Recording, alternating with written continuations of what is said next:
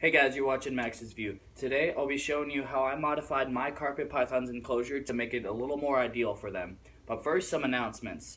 I've got a lot of great videos coming your way. Since I just graduated from college, I'm looking to spend more time on this channel, putting out better and higher quality videos. Videos coming y'all's way is of course some hatching videos between snakes and crested geckos. I've got a lot of cool animals that are going to come out this season. Then this next week, I'll be going over to check out the facility for big country snake removal and check out some of the venomous species and other species that they work with. Following that, I'll be flying out to go land in Orlando, Florida, and then head over to Tampa to check out the Repticon and check out a lot of awesome reptile keepers, including David and Manny from Tiki's Geckos. And then from there, I'll be flying out to London, England to drive around and check out some of the reptile shops there, check out the countryside, and bring you guys along with me. This here's one of my carpet pythons, Icarus, and he is a very active animal, as are many carpet pythons. They are semi-arboreal, so if they can climb, they will. So today I'm going to show you the building process of a carpet python's enclosure to give him some space to climb around on. In the meantime, I'm going to put this guy up before he wears me out before I even get started. Alright, so some supplies I'm going to be using for uh, this project is obviously having a tank, some branches for the carpet to climb on. Uh, here's a longer one and two shorter ones, and some Lugarti uh, reptile bedding I'm to put over uh, this product here to uh, seal it. It's called Gaps and Cracks. After 24 hours, uh, it will be dry and I will be able to uh, put the animal back in.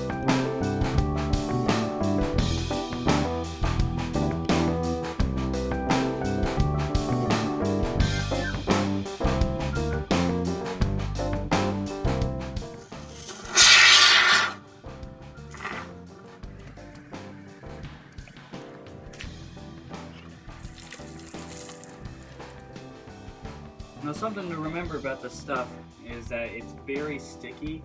Uh, it does stick to anything really it touches uh, and very quickly. Um, it takes a minute to dry so it's going to be malleable for a minute. So usually what I do is uh, is I'll spray it on there, I'll have it set where I want it and then later I come with a plastic bag or what I really should have is gloves and I press it down and then I put another layer on and this helps it really stay um, where, I, where I like it to be.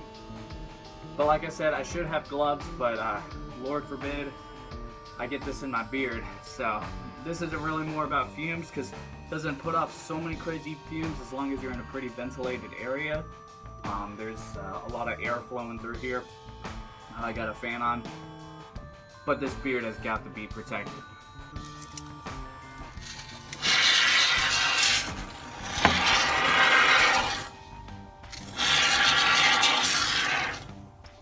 I cannot stress enough that it is very important to remain intentional with everything you use regarding this stuff. It's a little wobbly right now, but uh, this is the first layer. Um, this is just to kind of uh, get it forming to the ground there. When I come back and make it a little more malleable, um, or when when I come back and I start sticking it more to it, getting it more in place, uh, then that's when I'll really make sure that it's more than just where I want it, but how I like it. I added more dirt, let it dry, and I finally turned it on its side. So here's me vacuuming it and getting it a little more cleaned up. Alright, so I've already started decorating it, but let's keep going. After letting it dry for 24 hours and redecorating it, I introduced the carpet python. Alright, so here's the finished product. She loves it. She loves the climbing.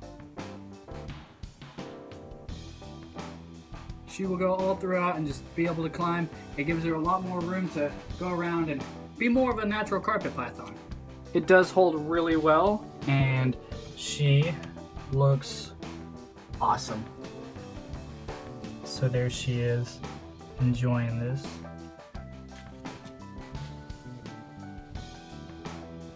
Anyway guys, thanks so much for watching this video. Y'all be sure to like, comment, and subscribe. And be sure to check out my new Facebook page for my animal business, Max's Morphs.